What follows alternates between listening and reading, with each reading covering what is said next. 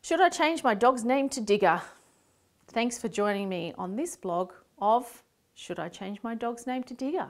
Hi, I'm Belinda Marinas and I'm owner and head trainer with Heel Sit and Stay Dog Obedience. I am passionate about helping and training dogs and owners to understand and communicate with each other to build happy, fulfilling, long-term relationships. Let me guess, you have holes in your garden? Maybe you've tried filling them in with more dirt or rocks, maybe some chili powder, or even your dog's doo-doo.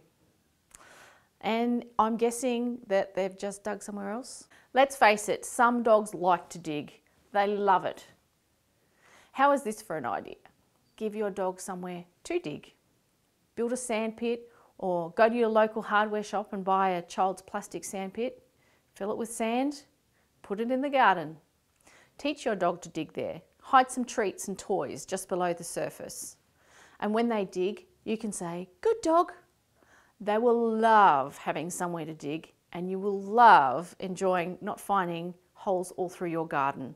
And sand is much easier to brush off than dirt.